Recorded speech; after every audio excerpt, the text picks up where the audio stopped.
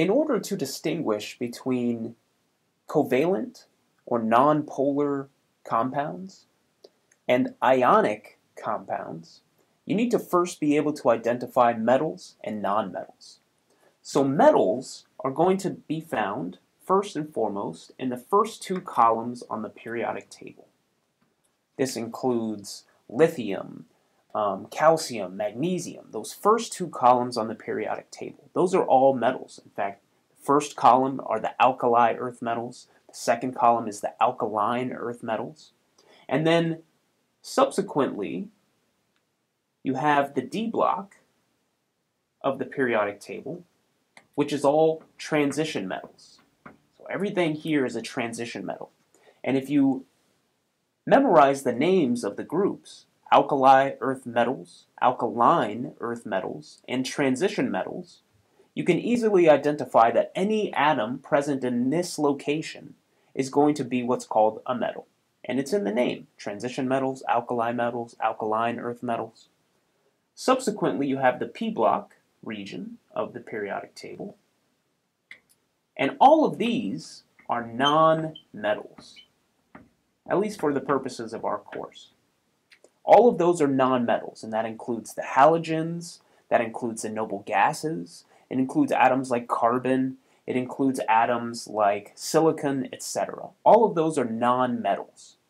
So, an ionic bond or an ionic compound is going to be made up between atoms that reside as a metal and a nonmetal. A common example of this is going to be lithium fluoride. So lithium is the third atom in the periodic table. Fluoride is the first halogen, which is over here in group 17. This means we have a metal and a nonmetal forming a compound.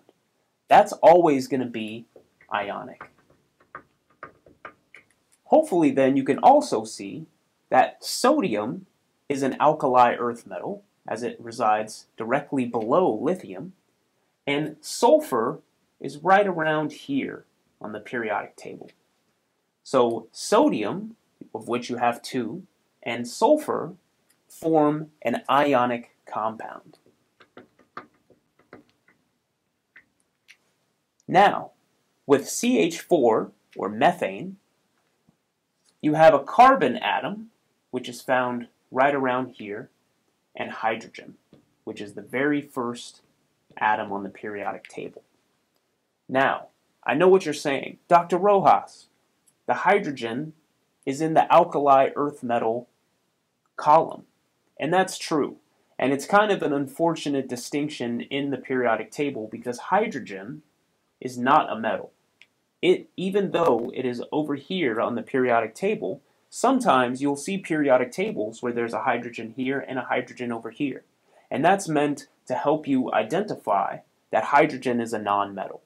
So if hydrogen is a nonmetal and carbon is also a nonmetal, then when they form a compound, they're purely covalent, so it is not ionic. Now, magnesium is right around here. I believe it's the 12th atom on the periodic table. Oxygen is over here. So you have a metal and a nonmetal, therefore it's ionic. Titanium is right around here on the periodic table. It is a transition metal. Chlorine is over here underneath fluorine, and it is a halogen, or a nonmetal. Therefore, we have a metal and a nonmetal forming an ionic compound. And being able to distinguish between ionic and covalent compounds are going to be really important in this course. Therefore, I would encourage you to commit to memory the different groups of the periodic table. Again, that's going to be the alkali metals, the alkaline earth metals, the transition metals, the nonmetals. This far right row is going to be called the noble gases. Noble gases. Those include helium, xenon, argon, etc. And then the halogens, which are going to be where fluorine, chlorine, bromine, iodine are, those are called halogens.